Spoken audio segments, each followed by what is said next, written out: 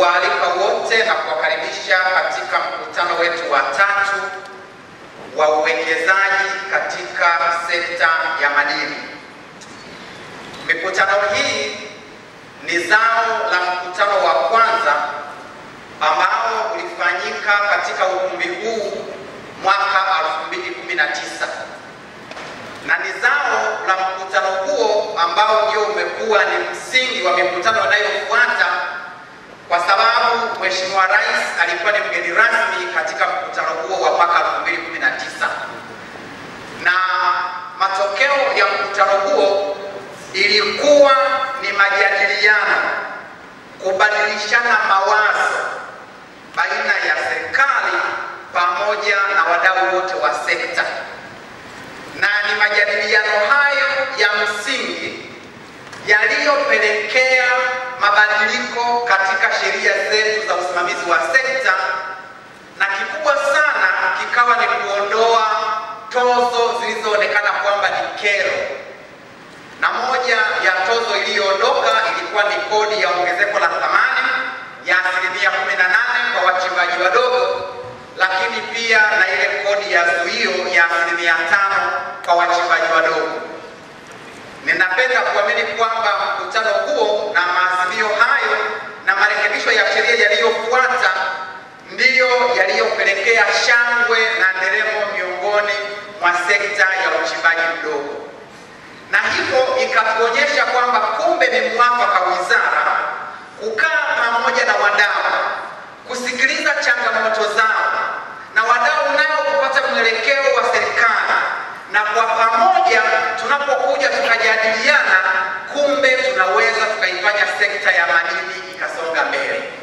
Na kwa hiyo mkutano huo ukawa ni mwanzo wa mikutano itakayofanyika kila mwaka, na mwaka jana tulikuwa hapa na mwaka huu tuko hapa. Kwa hiyo napenda niwahakikishie uh, wadau wote mliofika kwamba utakuwa ni mkutano ambao tutajadili tena kwa pamoja, tutasikiliza hoja za wadau wetu ili kwa pamoja na kwa jinsi ambavyo sekta ya madini sasa inatamani kugusa uchumi mpana wa kila eneo wa kila sekta, basi mkutano huu nao uweze kutusogeza hatua moja kwenda hatua nyingine.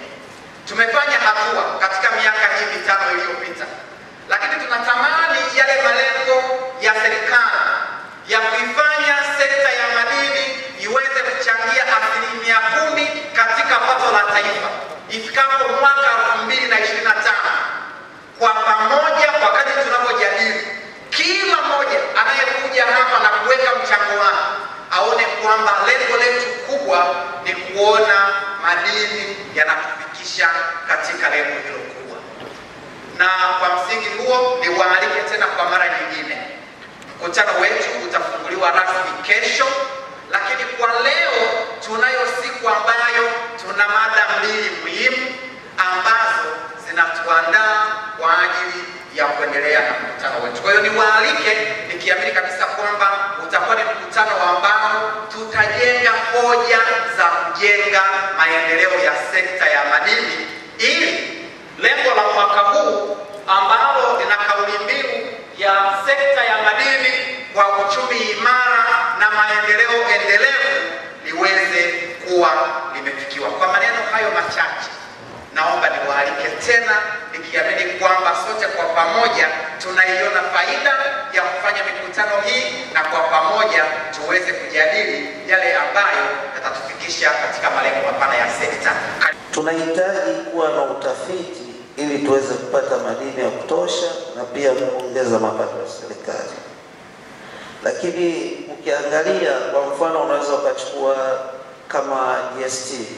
Sawa, GST nchi ni kubwa na ni wachache, hauwezi wakainani nchi yote mara moja, lakini kwa undani zaidi ukiangalia, tunayo haja sasa hivi ya kuanzisha huduma za kiuchumi kwenye sekta ya madini. Kwa mfano, unaweza kuchukua labda Wizara ya Elimu ina huduma za kijamii, inatoa elimu bure.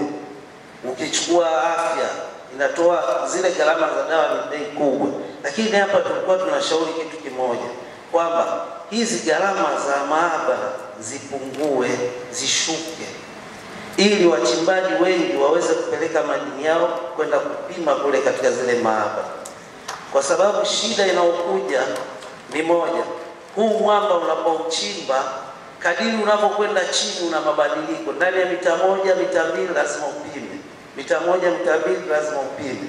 Sasa hii hapa inaleta inaleta shida sana kwa mchimbaji kupeta weza kuhamasika kwenda JST kupima kupima kule ili kuweza kujua mambo yake unakwenda vipi, na mfano huo unauchukua tu hata kwa mfano kwenye shirika kama Stamiko. Stamiko wanao ule mtambo wa kuchoronga ule mtambo wa kuchoronga ni mzuri sana kwa wachimbaji, hata ungepatikana ukawa unawasaidia kwa kujua kuna madini umbali gani au kiasi gani, kuliko wachimbaji kuendelea kuchimba mashamba mengi ya mpungu. Mtu anachimba ajui chini kule kuna nini.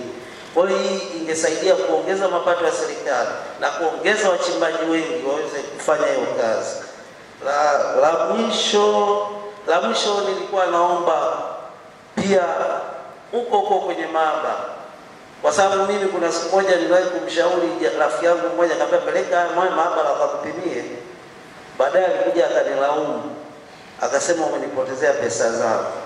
Tulikuwa tunaomba waandike kwa Kiswahili ile ripoti, kwa sababu unapoandika cu MCD sijui mbili afu namba, mimi sijui mchimbaji. Sasa tengeneza basi ripoti mbili moja ya Kiswahili, moja ya Kiingereza, sawa? Au labda kama tumeshindwa, basi tuweke maabara ya Kiswahili